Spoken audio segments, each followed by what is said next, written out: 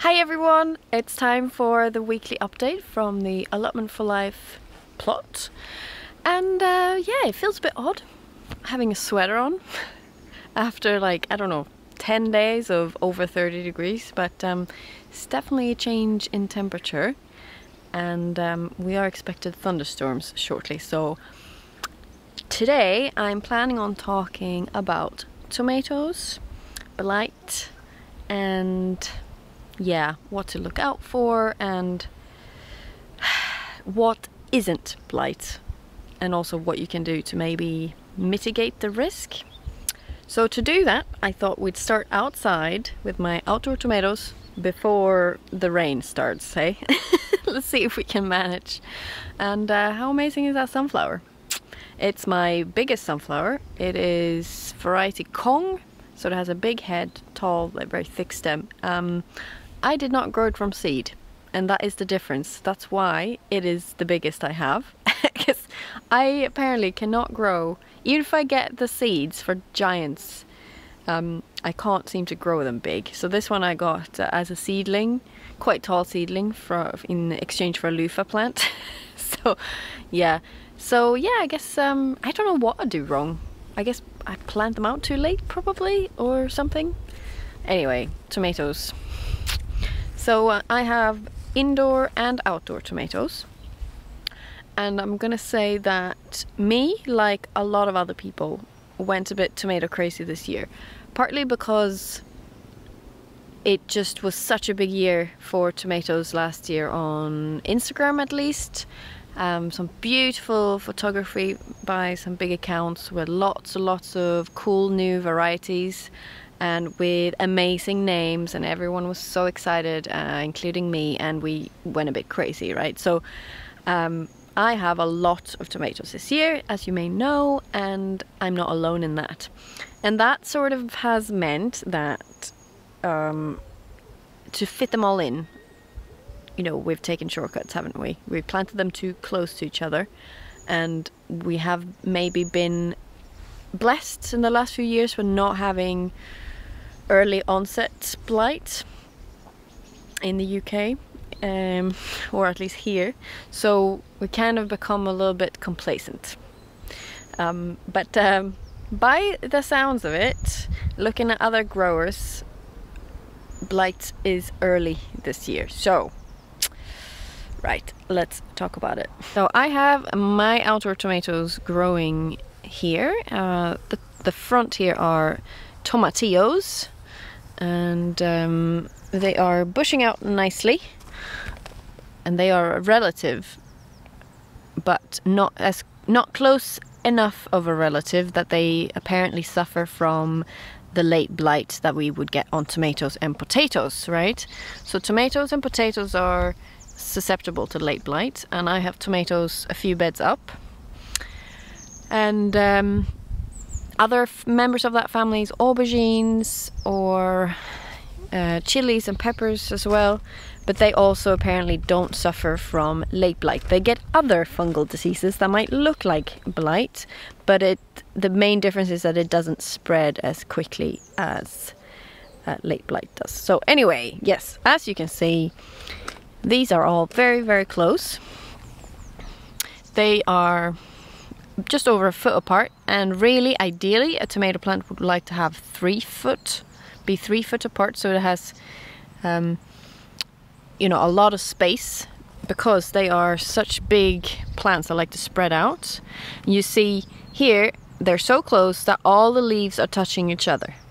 Even though I prune hard they are still touching and I try to remove leaves are the worst culprits right but yeah, so these are perfect conditions for blight to just rip through here. And why I'm saying that is because blight is a fungal disease and like mushrooms, they spread on the wind through spores that are released in the air from the fruiting bodies.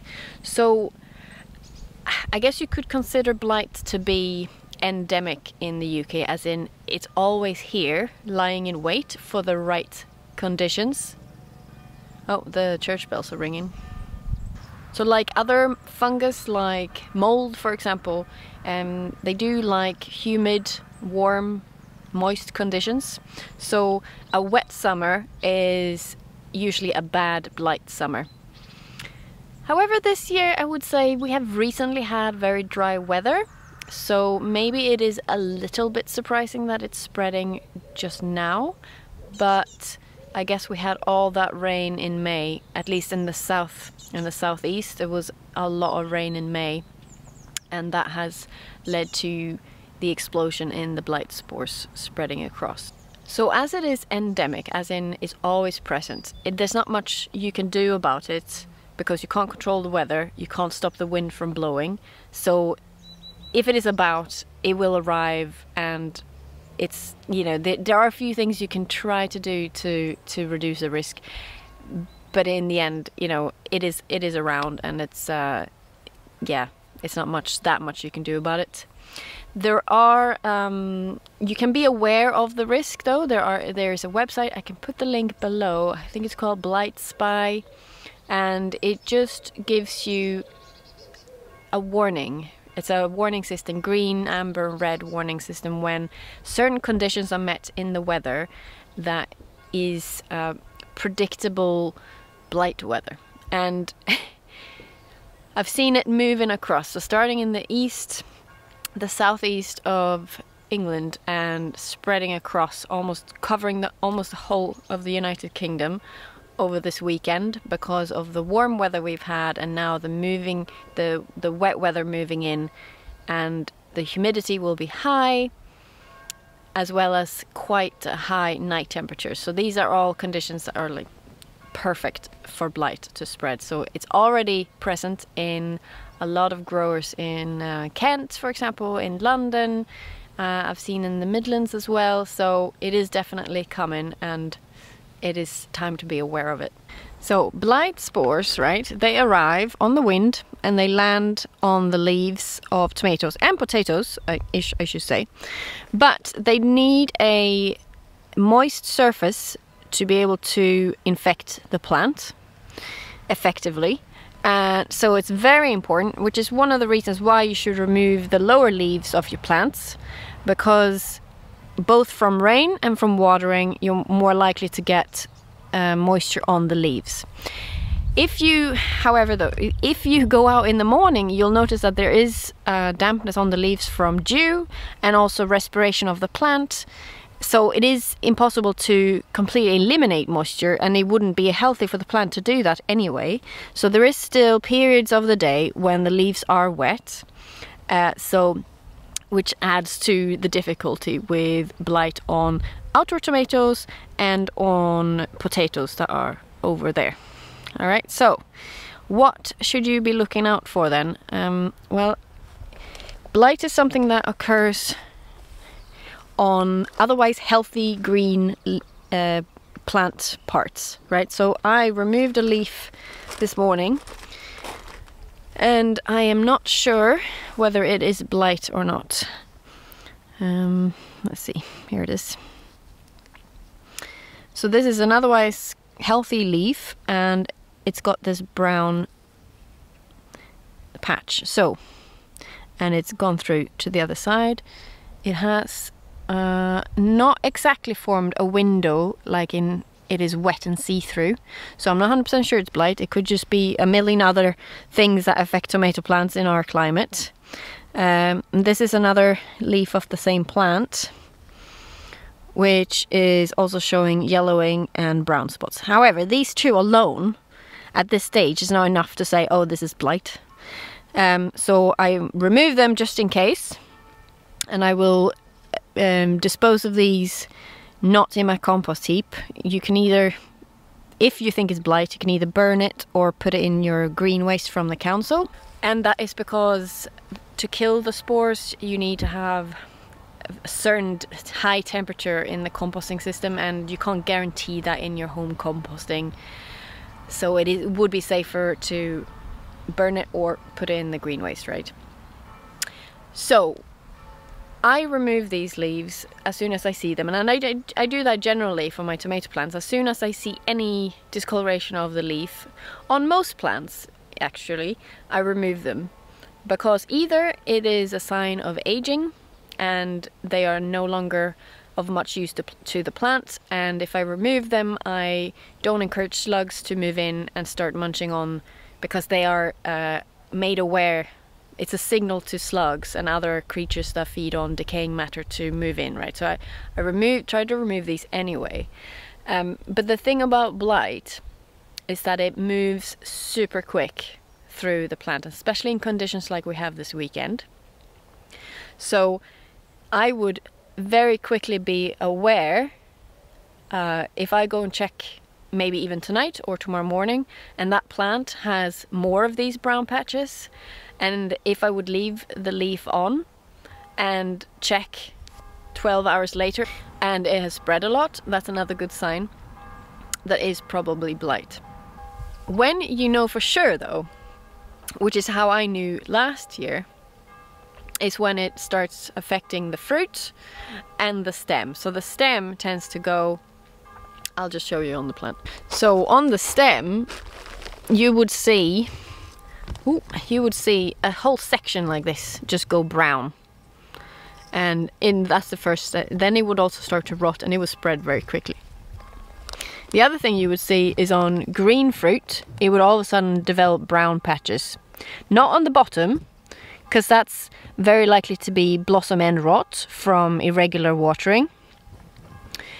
But on the sides here, obviously you can be unlucky and it can happen underneath and you can mistake it.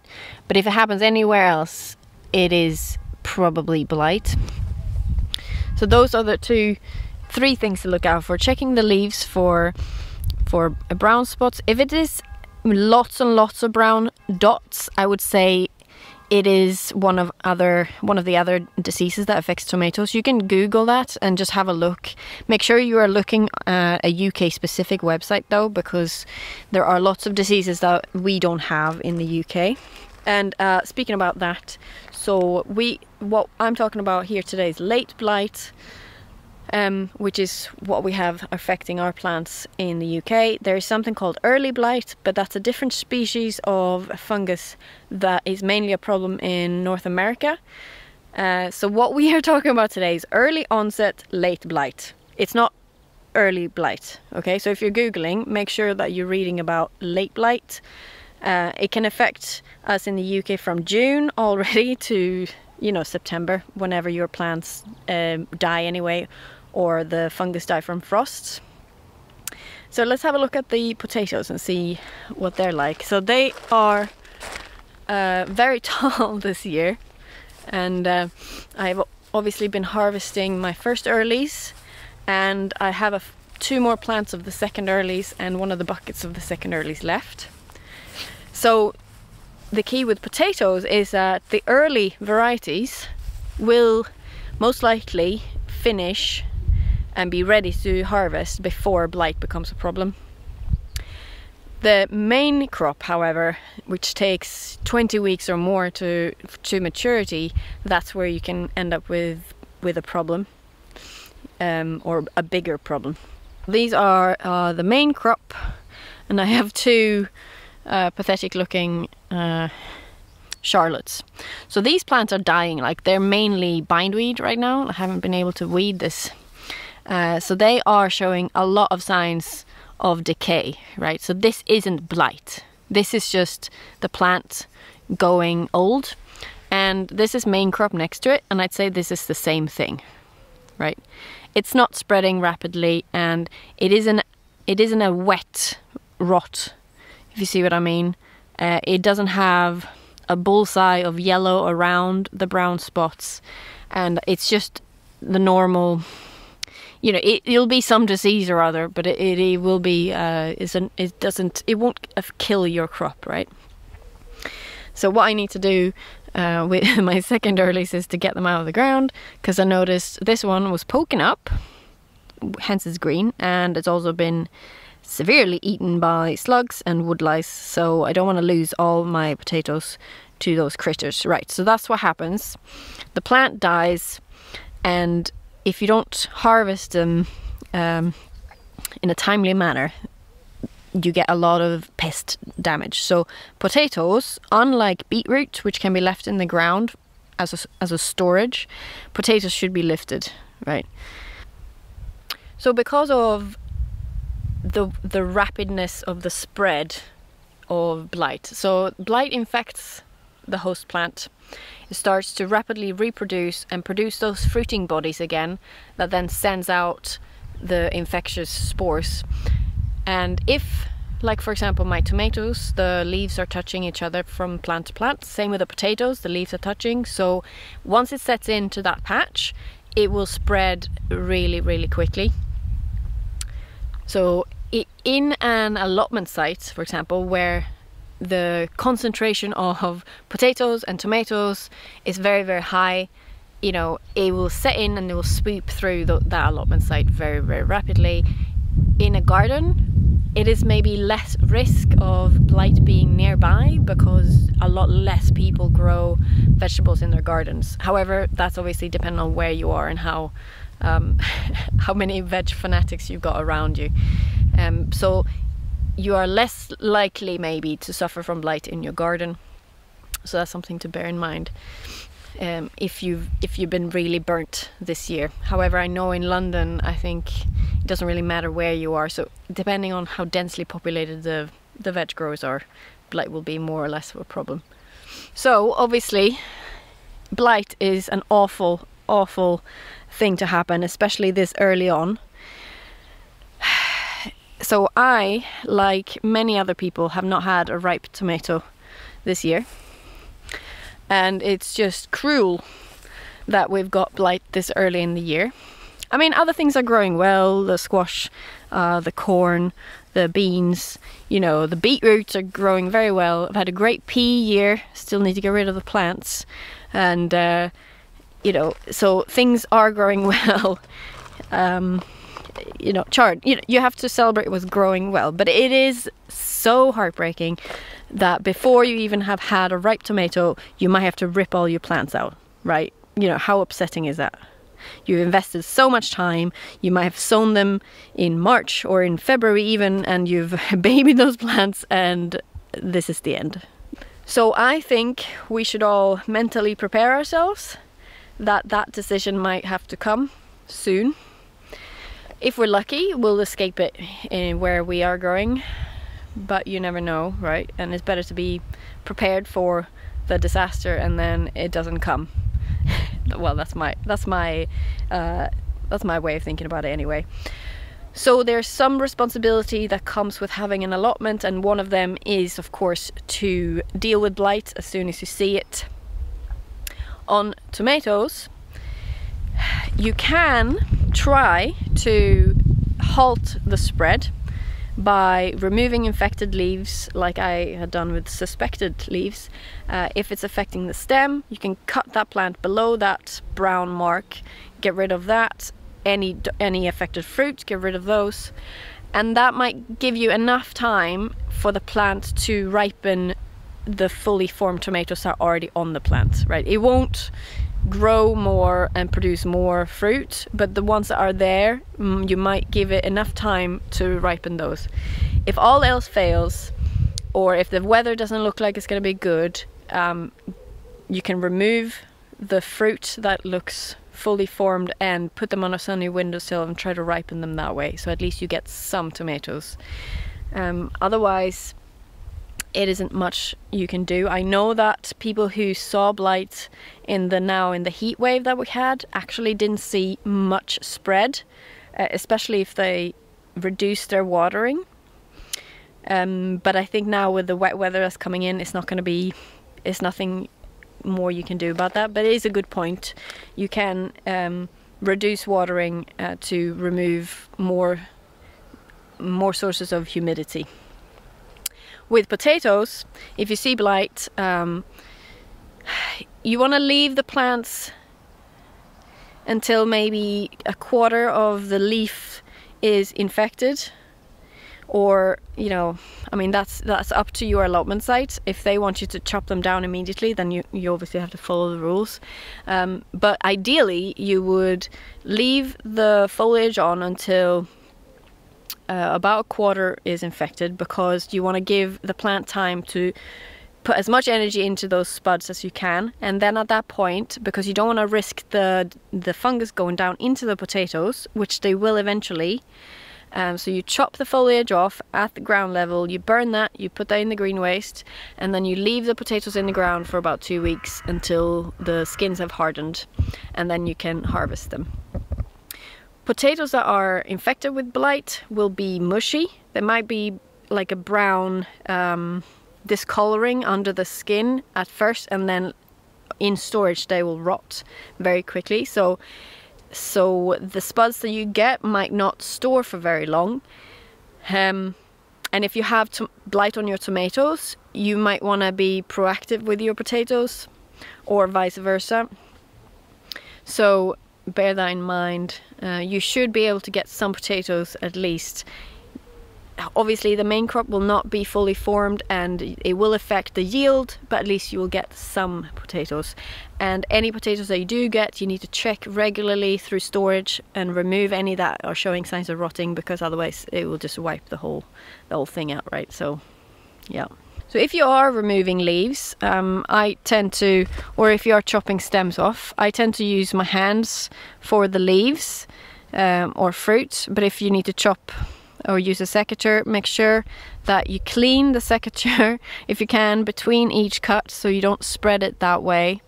And importantly, wash your hands before you go from one patch of tomatoes until another one, right? For next year, which is something I should have done this year, is to not practice monoculture like I've done here and put all my tomato plants in one spot, but to spread them out across your plot because because my plants are so close together, they're all touching, if it gets in here, it is likely to spread to all the other plants in a very, very short space of time.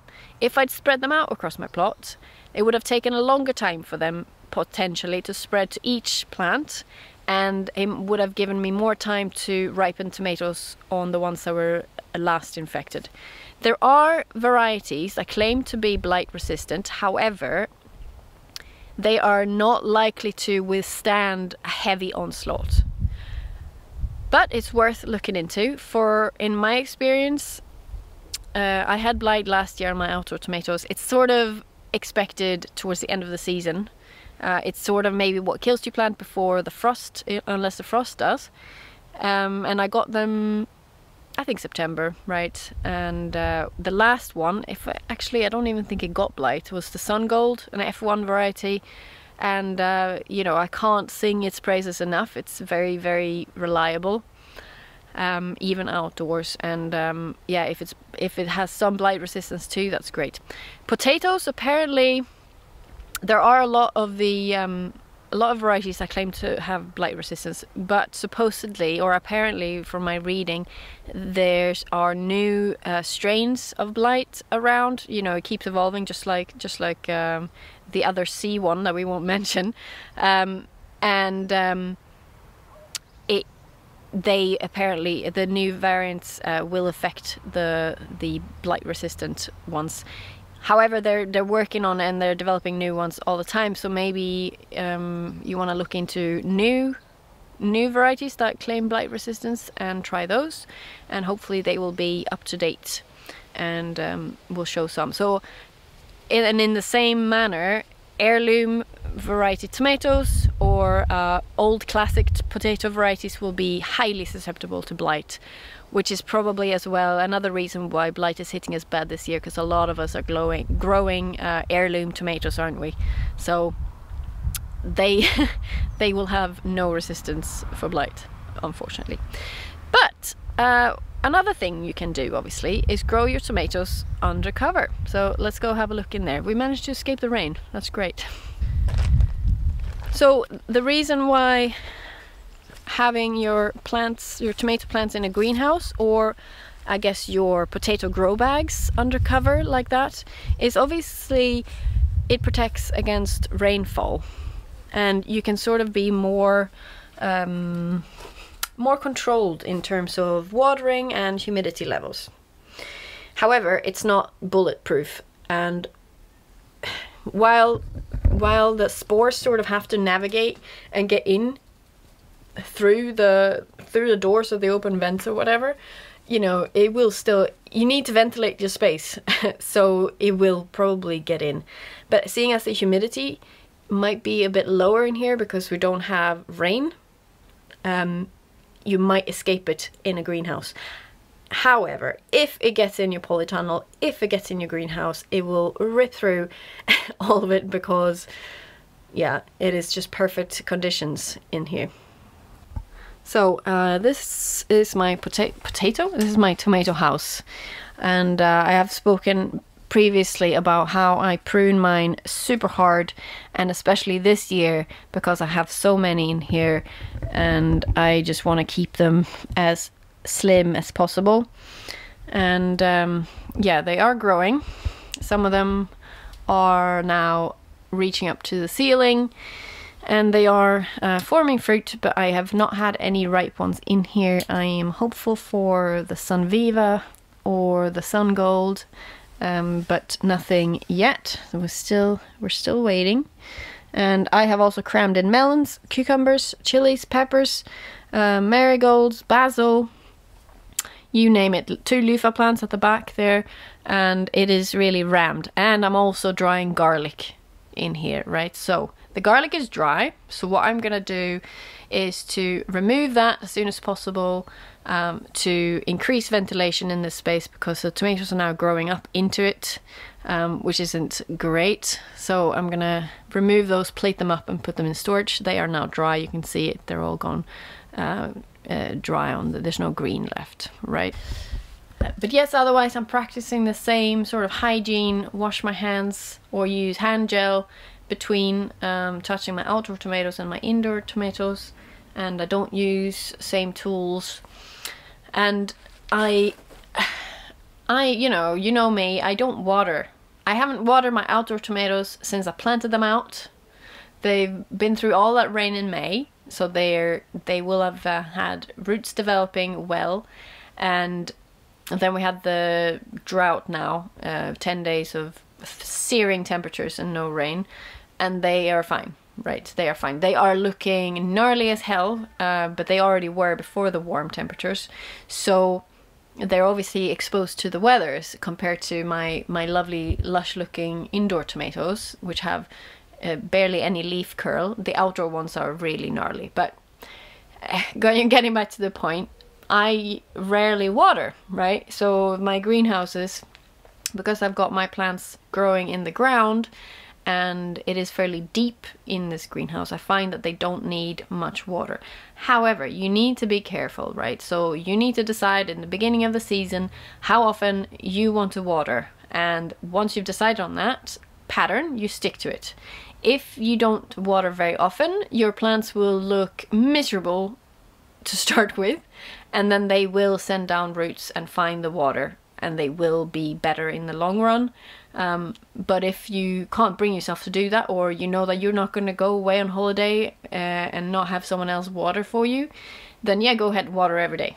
You know, but, but I know I can't do that, so I water maybe two or three times a week, depending on the temperatures and when I do water I water um, consistently deep but it is important with tomatoes to water consistently so that they have a pattern that they get used to so that they know um, they come to expect it, right? Because you don't want to end up with uh, blossom end rot, which I touched on before, which is, if you Google it, a calcium deficiency. But it's not that there's not enough calcium in the soil or in your grow bag, uh, it is just that it's not made available to the plant because it doesn't. It needs water to to utilize it. Uh, so you don't need to feed it with calcium. That's pointless. Um, you need to water consistently, and then you won't have blossom end rot. Certain varieties are more susceptible to it as well. So if you're struggling with one variety every year, then just try not to grow that one. um, again, uh, cherry tomatoes are much easier to grow uh, compared to the big ones, they suffer much more with blossom end rot. And also, again, the heirloom varieties are more difficult. Uh, you can also have blossom end rot with other plants, like um, um, like squashes, for example. If they get irregular water, it's a similar thing where they start rotting from the, the bottom and um, you have to discard the plant. You can still eat the bit that isn't rotten, right? But um, you won't. They won't grow bigger. The other thing you can suffer with from irregular watering is splitting. So I'm not 100% sure that this split here is due to irregular watering. I, I, I'm not 100% sure. It doesn't look like a proper split. It might be damage or something. Um, but it does as well affect other plants. Uh, it, the problem is that it will have been a period of drought. For example, you might have gone on holiday or it's been really dry outside, and then you're like, oh no! And you come back and you see them wilting, and then you give them a lot of water, right? So that drought period of drought followed by a period of lots of rain followed by another drought you know this kind of pattern leads to splitting and this affects tomatoes and it's uh, one of the more common ones is kohlrabi is also very sensitive to splitting so they want like a regular availability of water.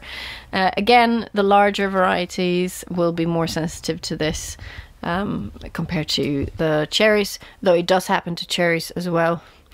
Um, once they are ripe, the cherries, and they go over, they also risk splitting. So if you see um, a fully ripe in terms of color tomato and it's split, it's probably because you picked it too late. So now it's actually sunny uh, and it's got quite hot wearing a sweater in the greenhouse. Um, but yeah, I was going to also mention that to protect your undercover tomato crop, make sure that you obviously only water at the base of the plant, uh, no splashing, but you already knew that. Uh, I use my pots uh, to water into so that it doesn't spread about so much. It kind of limits the evaporation, speeds it up for me, and I think it's just all around works great for me.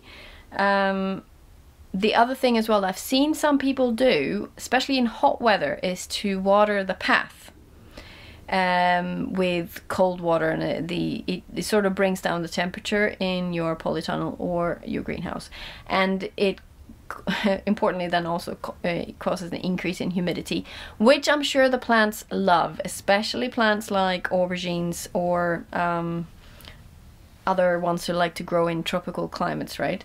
Uh, even your tomatoes. But it is a trade-off because you're increasing the risk of not just blight but other diseases as well. So it's not worth it.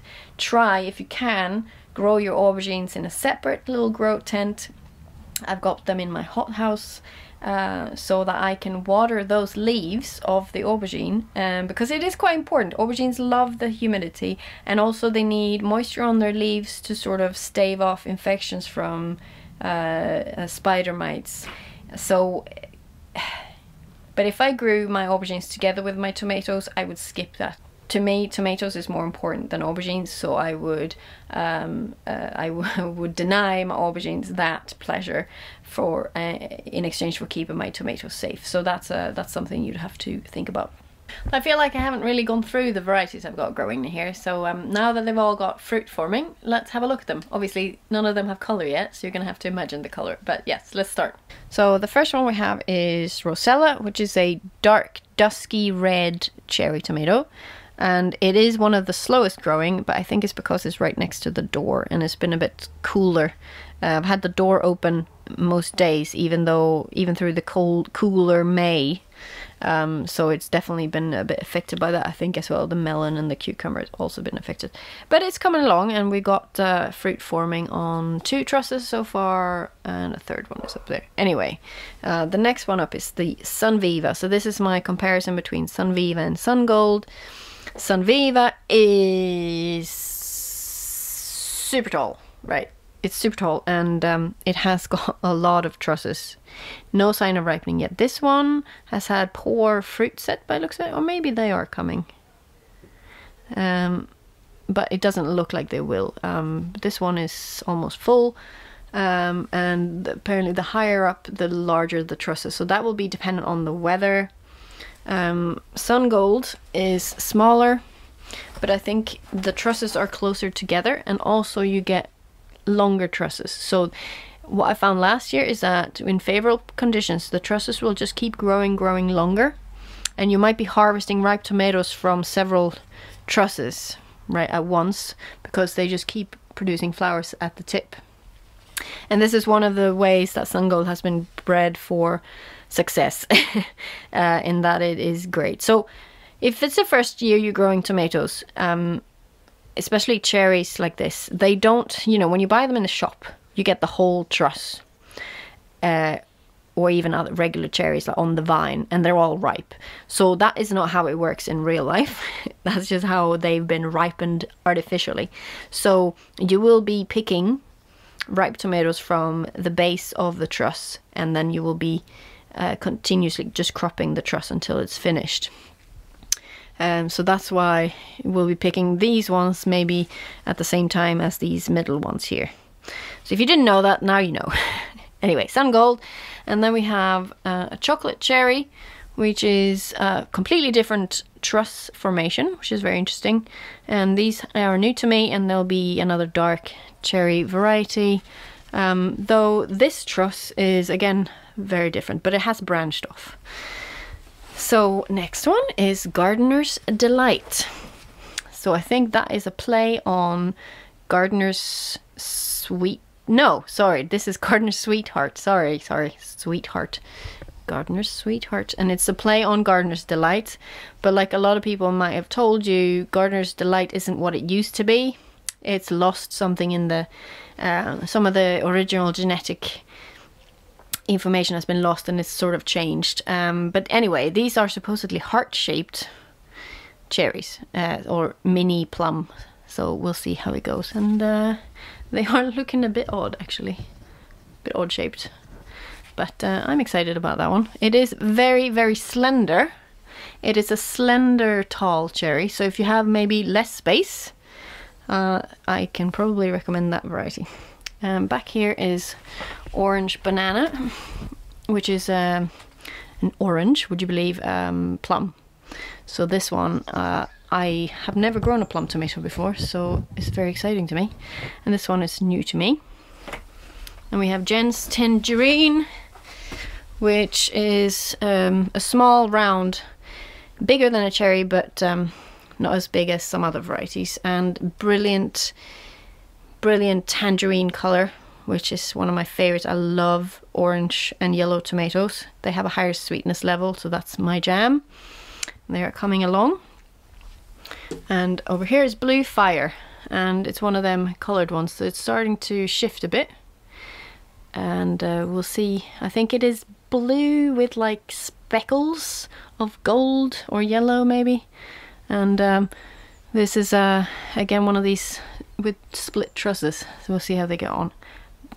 Back here is yellow brandywine and it's not going well. It is in a dark corner, back corner of the greenhouse. You see all this greenery at the back there, so it shades it a bit. I don't think it's happy. Um, none of these look like they are forming fruits, you see. Um, so yeah, it was a bit a bit disappointing because this is one of my favorites, a bright orange uh, beefsteak tomato, maybe that one, but they're all odd shaped. It is a potato leaved, um, like all brandy wines, and it, they are usually good. And I will try growing it again, if, even if it doesn't work this year. But we'll see. Here we have Blue Bio, which is, um, you know, one of these dark ones. And uh, yeah, I mean, it still has some green on it, so it still has some time to go. Um, but yeah, this so far is one of the earliest to form. And here is Millefleur, one of these centiflora varieties with like a million, a million, um, well, I guess technically a thousand um, flowers and fruits. So they are forming and they are like pointy like this. So th these are yellow. And another one similar to this is Barry's Crazy Cherry. This one is a double. Um, so I think, I'm not sure what the difference is between this one, Millefleur, which is from Real Seeds, and uh, Barry's Crazy Cherry. They all seem to grow, they both seem to grow the same and have the same color fruit, so uh, maybe I'll have to do a taste test next year. But yeah, so apparently, by looks of it, you don't need, definitely don't need more, more than one of these plants. I've got it growing outside too, and it's still forming these ginormous trusses, so yeah, I'm curious to see if it's good, if it's tasty, and I think it's going to struggle to hold up all that fruit once it's formed. Next one is Belarusian Heart, which is one of these big um, um, uh, beefsteaks. and it's heart-shaped already. Beautiful. Uh, a bit yeah, uneven fruit set by looks of it. there's more fruit on the second truss than is on the first one, so we'll see. This one is Galina. It is one of my tallest and very regular fruit set here. I can't remember the color of this one is, but I think it's another uh, orangey yellow. And it is, um, by the looks of it, a cherry, which I wasn't expecting. But look how tight this is. Very, very different way of growing fruit again. And this is Lotus, which is a beautiful blush yellow, I believe. And um, quite large fruit. And is one of the earliest set, so one of the earlier beefsteaks by looks of it. And um, good fruit sets and very, very like big trusses, which makes me worried about weight as well. So as opposed to Brandywine, which is another beefsteak, right? Which is very compact truss, which tends to hold the fruit. This, like imagine one of them big heavy fruits at the end here. It's gonna gonna hang down all the way to the ground. So I might have to look at supporting these so they don't snap. Oh, we got a little a little one of these. Keep removing these when you see them. This is uh, Pêche Vilmorin Andrieux, which is a famous um, French vegetable uh, breeder. I guess he produced a lot of varieties. So this is named after him, and it is um, a beautiful pale yellow. And so far, so good, but nothing too exciting. Um, yeah, we'll see what it looks like. This is uh, Berkeley tie-dye and it is a speckled beefsteak and it's starting to show its pattern. And I stupidly managed to remove the growing tip when I was thinning but what you can do then is to leave one of these suckers to grow and that will form the new growing tip. So that's what I've done. It will set it back a bit in time but it will catch up Next up is Black Beauty, and it is, uh, you know, you might have seen that on Instagram, and it is um, a beautiful black fruit, completely black, with maybe some blush uh, red when they're ripe. Potentially, they don't all do the same, but it has a crazy um, truss habit, and uh, again, they are quite large fruits, so a little bit worried again and um, yeah just lots of branches to these trusses. Next up is Czech breast which is um, quite funny named but it comes from it having nipples at the bottom um, which is sort of funny in it? Um, oh but I think it is also another yellow variety. Lucid Gem here which is another colored one. This is the one that I thought had a split, but I'm not sure about that. I don't know what's that, what that is. Um, and they are uh, going from dark to to yellow, I believe. So that one is another beautiful one. These were sent to me by a friend. A few of them have been actually. And this is uh, Sky Comish. And it's another multicolored one. Not super exciting as of yet, but we'll see when we get the the colors on it. And the last one is San Marzano, which is a um, cooking one, uh, big plum. And they are forming what looks like uh, testicles right now. Both of them are, oh yeah, see? Which is pretty funny. But yeah, they are perfect for making your own passata or tomato sauce for the canning or freezing. Um, but again, it's next to the door here, so it's not super happy. Plus, plus. It is, um, I've heard, very very susceptible to blight as well so we'll see um, we'll see how we get on there. But yes I was gonna leave you there and uh, hopefully you managed to sit through all that. Uh, I will upload my next video on early in early next week because I need to change my release date. So I will be able to give you an update whether I've seen any blight de developing over the weekend and um, yeah I just hope you stay blight free where you are. Have a great weekend guys and I'll see you early next week